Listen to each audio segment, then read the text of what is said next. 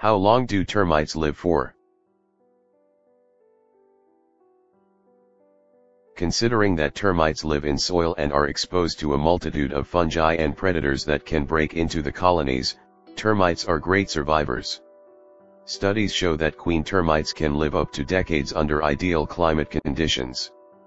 Workers and soldiers live approximately 1 to 2 years.